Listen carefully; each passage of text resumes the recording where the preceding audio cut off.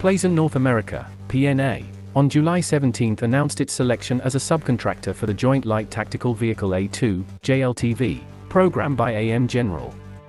This partnership is a significant milestone for PNA, as it expands its involvement in delivering cutting-edge survivability solutions to the warfighter. The subcontract award valued at around $300 million over five years, is vital in supporting AM General's commitment to delivering superior military vehicles to the U.S. Armed Forces. The effort includes the major subcomponents of the armored cab. To meet the requirements of this significant effort, PNA anticipates hiring 170 highly skilled professionals over the next 18 months. These job opportunities will range across various fields, fostering local employment growth and bolstering the region's economy. Plasan North America has a long-standing relationship with the JLTV program, providing high-quality armor components for the last seven years. With this new contract, the company further contributes to the safety and performance of the JLTV A2. We are honored to be selected as a subcontractor for the JLTV A2 program by AM General, said Colonel Ret. John Cavado, President of Plasan North America. This partnership recognizes our long-standing dedication to the success of the program and our unwavering commitment to supporting our armed forces. We are proud to build on our legacy and expand our involvement with the JLTV A2, create new job opportunities for West Michigan, and contribute to the growth of our local community.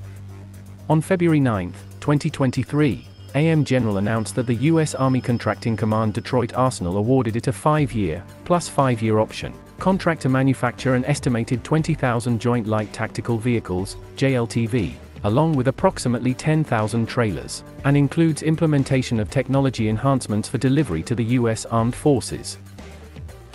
We are humbled and honored to receive this contract and continue our strong partnership with the U.S. Armed Forces.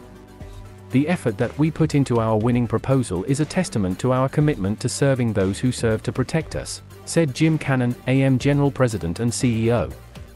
It was with the warfighters in mind that we set out to not only demonstrate our world-class manufacturing capabilities, but also to integrate innovative solutions into the JLTV so they receive the best product for their mission. AM General is well positioned to evolve next generation JLTVs to meet mission demands across the full range of military operations. The company's core capability of light tactical vehicle LTV development and production, coupled with its R.I.D.E responsive, integrity, dynamic, excellence, values and culture, ensures that the end user is well equipped and supported on the battlefield. Further, AM General combines unmatched LTV program experience with proven transformative commercial manufacturing initiatives, like their Smart Factory, Automated Guided Vehicle System, AGV, Radio Frequency Identification, Global Positioning System, RFID GPS, traceability, and rigorous International Automotive Task Force, IATF 16949 Certified Quality Management System, QMS standards to produce and deliver JLTVs equipped with technical enhancements that surpass requirements. Some of the JLTV technology enhancements include enhanced corrosion protection and improved fuel efficiency in addition to continuous developments for an updated next-generation vehicle architecture.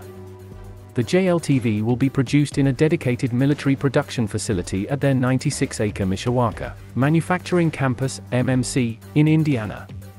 MMC features an on-site test track where JLTVs will undergo testing in a dynamic operating environment. These dedicated facilities underpin the company's readiness to execute a smooth transition for JLTV production, quality testing, and delivery. Deliveries are expected to begin 17 months after contract award.